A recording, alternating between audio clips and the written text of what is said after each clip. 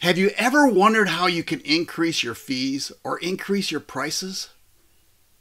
Or maybe you're just afraid to do it. Well, today I'm going to give you three tips on how you can increase your fees and increase your prices. Hey, I'm Mark Nelson. I'm so happy you're here. I know you're going to get great value out of this.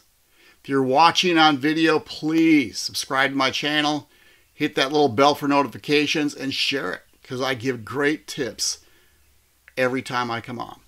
So today what we're talking about is three tips. Three tips on how you can increase your fees or your prices. And it's easier than you think. The first one you have to have like what they call as a positioning strategy. How do you position yourself? I think when everybody starts out, and I know I did, so maybe this is, I'm just talking about me, is that what I did when I first started, I wanted to make money. Right? So I wanted to just get something out there that I could make money on. I didn't really think about what I was doing, if that makes sense. But then what happened, I started focusing on the results I could give for my students. I could get for people buying my courses. I transformed my thinking. I wasn't trying to make money per se. I mean, of course it comes because as soon as I started focusing on results on what they would get, how I could improve them, then my business increased. So, the one thing, the very first thing, is focus on their results. So say if you're a health coach and you're teaching people how to lose weight. Right? And that's not me. And I have lost weight, but I did it because I had to. anyway, I don't have a system to teach people how to lose weight. But if you are building a product that you're going to teach people how to build, how to lose weight, excuse me, then focus on the transformation you're going to give them. You know, if you want to teach them how to lose 10 pounds in 30 days, focus on what you can do to help your student, the person buying your course, on how to lose that 10 pounds. That is how everything starts working for you and how you can increase your prices or your fees. Now, the second tip this is huge produce great content. I'm going to talk different things here. You always hear about give out value. Well, produce great content. You know, if you're on YouTube, if you're on Facebook, if you're on LinkedIn, always start thinking about, again, the result you want somebody to have. So end up producing great content. Now, when I started out, now I'm going to talk about something else here, but when I started out, I was nervous. I didn't think I had value. But I started learning, and everything I learned, I put out in content. And I got started getting better at putting out content on Facebook, putting out content in my YouTube, putting out content in my podcast. I just got better because I concentrated on, again, doing something for my clients, doing something for the people buying my courses. So produce great content. Now, here's the next thought See, as you get better with your content, write a publication for somebody else. If you're a writer, do a blog post for somebody else. Write an article for Forbes, Huffington Post. Put it on LinkedIn that you're looking to share this with people. Get on somebody else's podcast. Let them interview you to know to let their audience know that you have value. I know you can do it. But that's just the next step is sharing what you have through other people's channels.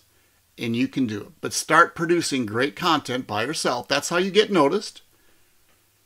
Do it organically. That's how I started.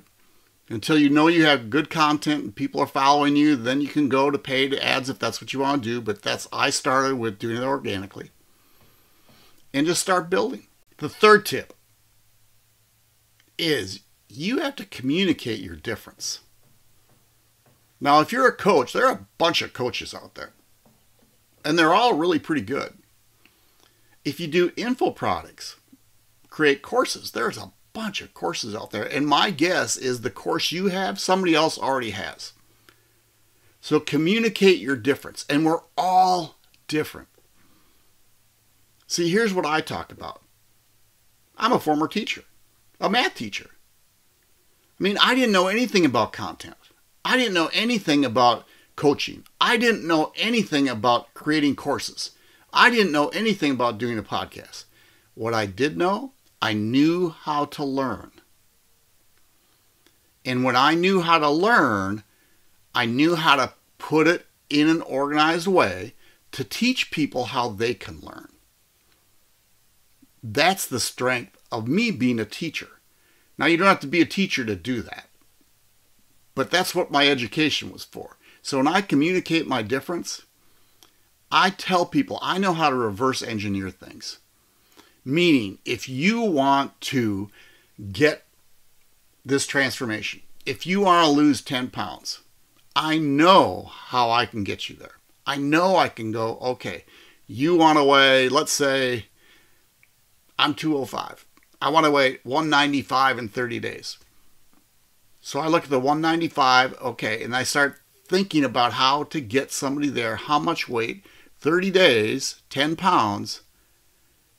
For some people, that's a lot of weight. But if you reverse engineer it and show them what they be, need to be doing each week, each day, you'll get them there. So communicate your difference. What are you different at than the other coaches out there? What is your knowledge? What is your background? What are your life experiences? That's what people want to know. And if you tell your story, guess what? There's people out there just like you that are waiting to hear your story and waiting for you to help them in your transformation. So there you have it.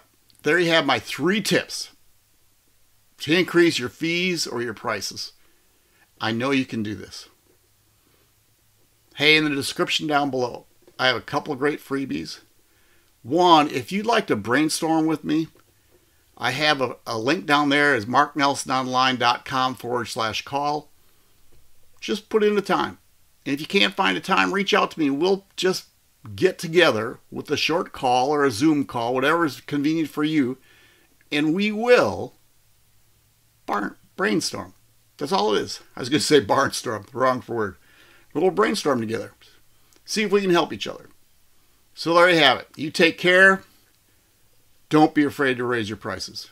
Don't be afraid to raise your fees. You can do this. Talk to you soon.